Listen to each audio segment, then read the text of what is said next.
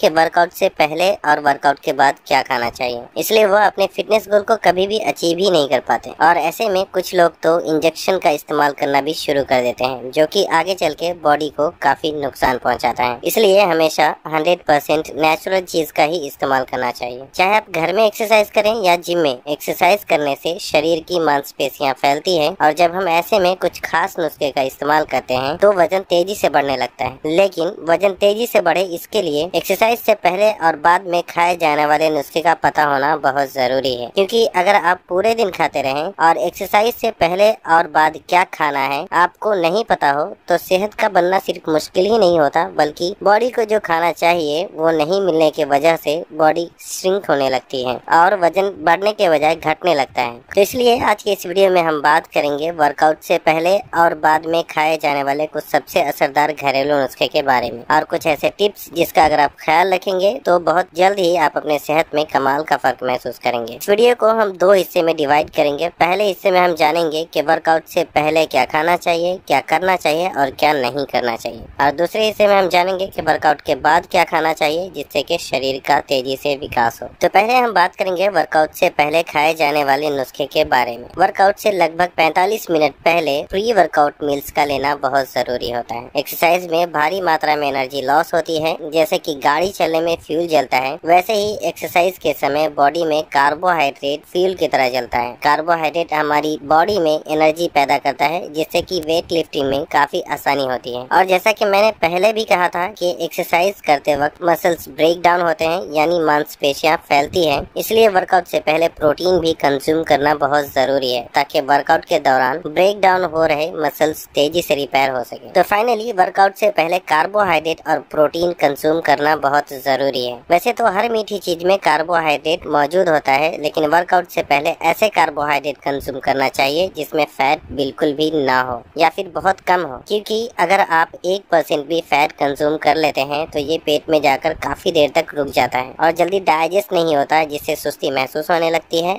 और weight lifting में काफ़ी दिक्कत आती है। तो अब बात करते हैं कि कार्बोहाइड्रेट और प्रोटीन का सबसे अच्छा सोर्स क्या है, जिसमें फैट भी ना हो और जल्दी डाइजेस्ट भी हो जाए। तो अगर हम बात करें सबसे अच्छे कार्बोहाइड्रेट सोर्स की तो वो है स्वीट पोटैटो और बनाना इन दोनों में भी अगर देखा जाए तो स्वीट पोटैटो कार्बोहाइड्रेट का सबसे बेस्ट सोर्स है। स्वीट पोटैटो को हिंदी में शकरकंदी कहते हैं, और ये आलू के ही तरह ज़मीन के अंदर लगता है, लेकिन ये आलू की तुलना में स्वाद में मीठा होता है। ये पेट में जल्दी डाइजेस्ट हो जाता है, और इसमें भारी मात्रा में कार्बोहाइड्रेट भी होता है। हंड्रेड ग्राम स्वीट पोटैटो में लगभग बीस ग्राम कार्बोहाइड्रेट और ज़ीरो परसेंट फैट होता है, जो शरीर में काफ़ी एनर्जी रिलीज़ करता है, इसलिए इसे कार्बोहाइड्रेट का पावर हाउस भी कहते हैं। अब बात आती है कि प्रोटीन का सबसे अच्छा सोर्स क्या है? तो प्रोटीन का सबसे बेस्ट सोर्स है एग व्हाइट्स यानी अंडे की सफेदी। यूँ तो अंडे की सफेदी देखने में बहुत साधारण और पानी जैसी दिखती है, लेकिन इसमें प्रोटीन बहुत अधिक मात्रा में होता है, जो की वर्कआउट के दौरान ब्रेक डाउन हो रहे मसल्स को तेज़ी से रिपेयर करते हैं। इसलिए वर्कआउट से पहले दो उबले हुए स्वीट पोटैटो और तीन से चार एग व्हाइट्स खाना बहुत ज़रूरी है। ख्याल रहे कि अंडे की योग यानी अंडे का पीला वाला हिस्सा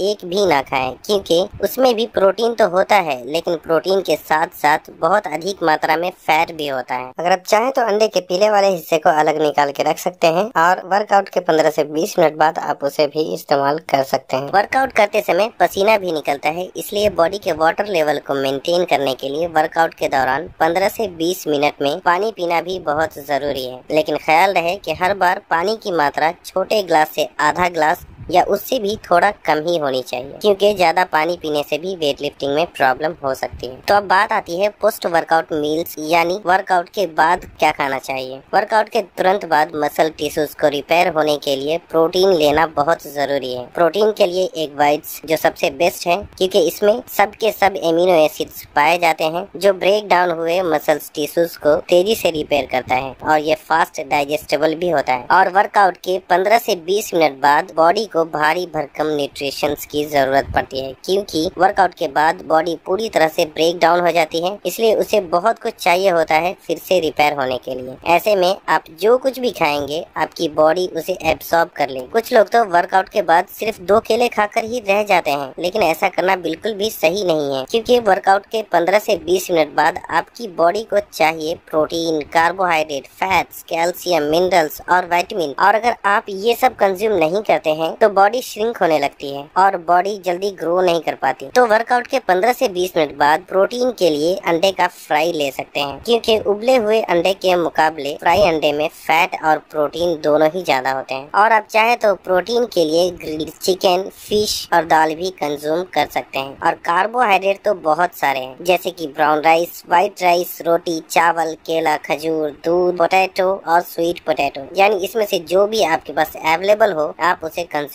कर सकते हैं। और फैटी फ़ूड की अगर हम बात करें तो बादाम, अखरोट, काजू, मक्खन, पनीर में से जो भी आपके पास हो, आप उसे कंज्यूम कर सकते हैं। और अगर आप ज़्यादा खर्च नहीं कर सकते और आपके पास इनमें से कुछ भी नहीं है तो एटलीस्ट आप वर्कआउट के तुरंत बाद एक से दो उबले हुए अंडे की सफेदी और वर्कआउट के पंद्रह से बीस मिनट बाद चावल के साथ दाल और एक से दो अंडे का फ्राई पेट भर के खाएँ। और अगर आप चावल नहीं खा सकते तो रोटी के साथ दाल और एक अंडे का फ्राई पेट भर के खाएँ। और खाने के बाद पानी पीकर दो केले खाएँ। इससे आपकी बॉडी को जो भी प्रोटीन कार्बोहाइड्रेट और फैट चाहिए, वो मिल जाएँगे। तो बस फिनिश और रात में कम से कम छह से आठ घंटे की अच्छी नींद लें। और हो सके तो दोपहर लंच के बाद भी एक से दो घंटे की नींद ज़रूर लें। क्योंकि सोते वक्त बॉडी सबसे ज़्यादा तेज़ी से रिकवर होती है। और एक अच्छी सेहत के लिए एक अच्छी